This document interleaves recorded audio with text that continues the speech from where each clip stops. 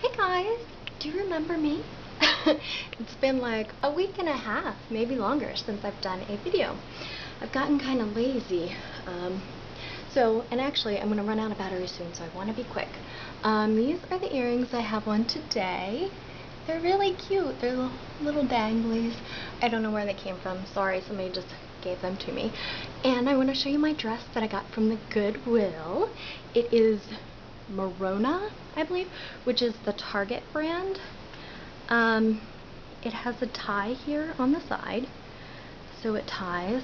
Oh, and it's just short sleeve like that. Sorry. Um, but it was kind of cold out, so I threw a skirt over it. So that is the dress. It's super comfortable. It's cute because it has the little tie here. There you can kind of see a little better. Um, and then my, this, you know, where did I get this? Oh, I got this at Kohl's. It has the little lace right here on the side ruching, or I think that's what it's called, or ruffles, I don't know.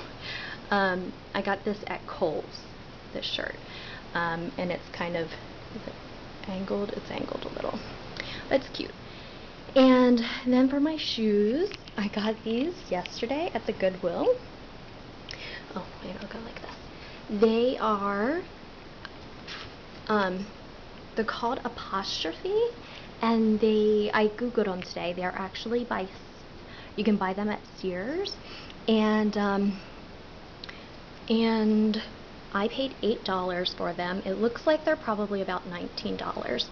Um, they're pretty comfortable actually. These are an eight and a half and I sometimes wear a nine and these fit perfectly. Actually in the back of this one, I need to get one of those gel things to go back here because my foot keeps coming out.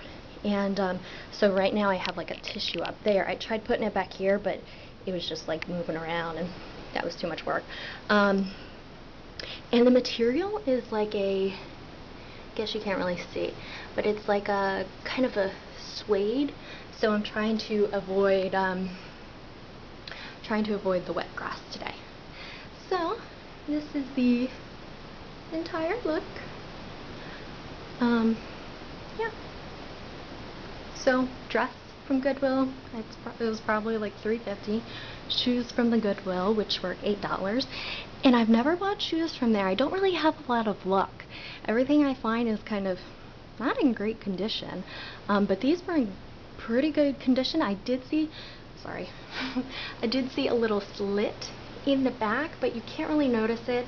For eight bucks, another pair of black shoes, I definitely had to get them.